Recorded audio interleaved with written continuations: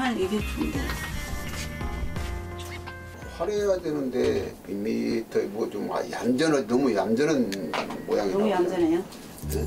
아이고 난 매일 내만 걸리면 자기 싫다 그러니까 네. 자기 마음대로 해. 이거 화려한 느낌이 확 들어야 되는데. 아 그럼 자기 마음대로 해요.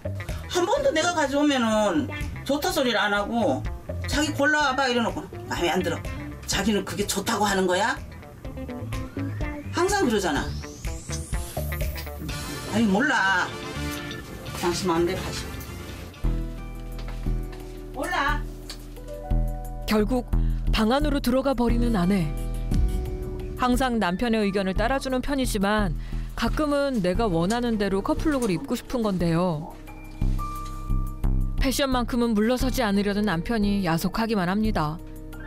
다툼 때문에 남편도 속상하기 마찬가지. 나 안 하네요. 이렇게 생전 안 그런 사람이면 저렇게 성질을 확 내버리니까 그냥 어떻게 감당이 좀 안 되네요. 따로 입으시면 되잖아요. 어머님이 원하시는 옷, 아버님이 원하시는 옷.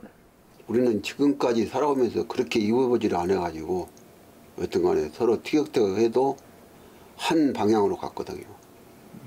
네. 그랬으니까 그건 안 되죠. 한치의 양보도 없었던 부부의 코디 대처. 결국 살얼음 판처럼 냉랭한 분위기만 감도는데요. 한참 뒤 침묵을 깨고 밖으로 나온 건 아내. 주방에서 무언가를 찾는가 싶더니 비닐봉투 하나를 꺼내고 남편이 코디해 놓았던 커플 의상들을 모두 봉투에 담습니다. 그 모습을 불안하게 지켜보는 남편. 뭐 하는 기요? 뭐 세탁소 세탁을 갖다 주는 거요? 아직 화가 풀리지 않았는지 아내는 여전히 묵묵부답입니다. 급기야 집까지 나가버리는 걸 보니 남편에게 서운함이 컸던 모양인데요. 아내는 도대체 어딜 가려는 걸까? 아내의 발걸음이 향하는 곳은 집 인근의 헌옷 수거함. 아내는 옷을 버리기라도 하려는 걸까?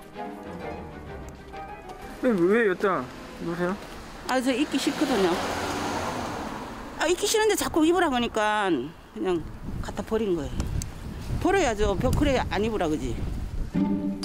결국 남편이 코디한 옷을 버리고서 빈손으로 돌아가는 아내. 버렸어요. 어? 버렸어. 아니 그 옷이 어떤 옷인데 왜 버려? 아이 이게 말도 안 되는 소리 하고 있어. 땀 흘려갖고 돈 벌어갖고 있는데 저걸로 그걸 또 버려버려?